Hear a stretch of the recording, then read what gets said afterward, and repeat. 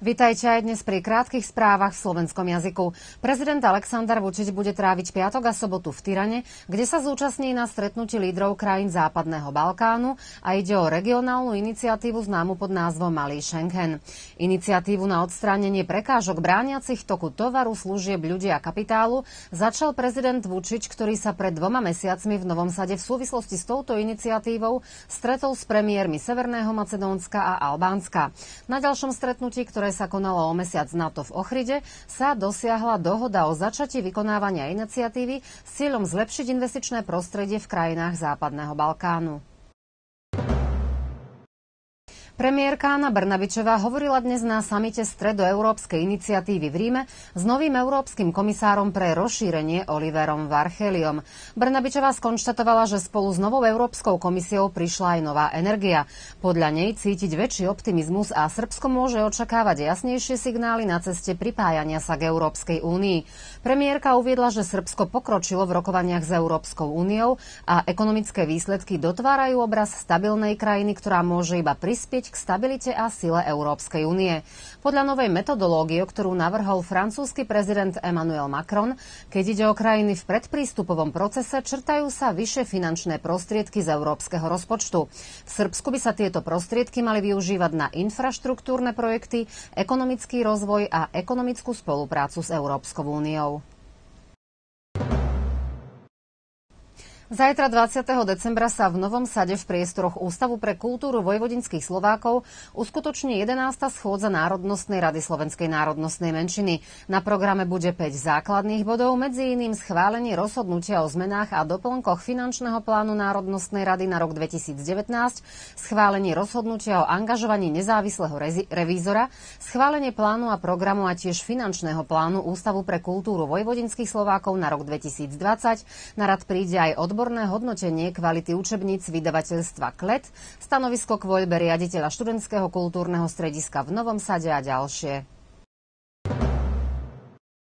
Príslušníci ministerstva vnútra v Novom Sade chytili a zatkli 50-ročného NS z Temerínu a 47-ročného PJ zo Starej Pazovy kvôli podozreniu, že spáchali trestný čin ťažkej krádeže.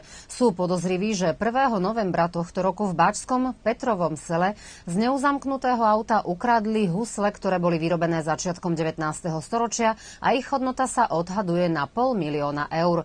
Pri zásahu polície v Nových Bánovciach jeden z podozrivých, u ktorého sa husle našli, sa pokúsil o útek, pričom hudobný nástroj odhodil. Polícia však páchateľa dostihla na parkovisku pri supermarkete Medius. Obidvaja muži boli zadržaní na 48 hodín a ďalej poputujú pred základný súd v Bečeji. Ukradnuté husle patria známemu srbskému hudobníkovi a skladateľovi Lajkovi Felixovi a boli mu vrátené. Ide o husle značky Domenico Montano a boli vytvorené v roku 1800. Verejný podnik Cesty Srbska apeluje na všetkých účastníkov dopravy, aby boli dnes mimoriadne opatrní, a to najmä z dôvodu zvýšenej premávky, ktorá sa očakáva do neskorých hodín, pretože mnohí pravoslávni veriaci dnes slávia Sviatok svätého Nikolu. Tým cestných služieb je v pohotovosti 24 hodín denne a z verejného podniku vyzývajú šoférov, aby cestovali len ak je to nevyhnutné a aby v žiadnom prípade nesadali za volant pod vplyvom alkoholu. Dávame vám do pozornosti program na sobotu 21. decembra. O 17. hodine sa v divadelnej sále v Starej Pazove bude konať novoročný detský program Zimné kúzla, známe ako Zimské čarolie. Podujatím bude sprevádzať Miňa Subota a vstupné je 250 dinárov. V nedeľu 22.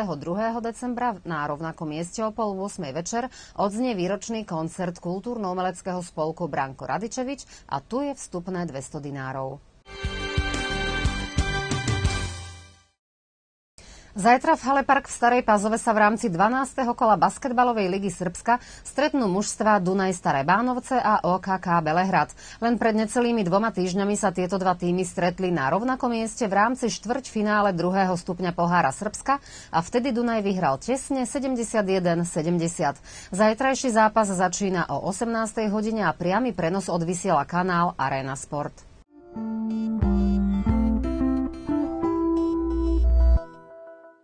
Piatok polooblačno, najviac slnečných lúčov popoludní, mierny vietor k nám zafúka prevažne z juhovýchodu. Čo sa týka teplomera najmenej 8, najviac 15 stupňov, taká je predpoveď meteorológov. Dnes blahoželáme k meninám Abrahámom, zajtra je oslávencom Izák.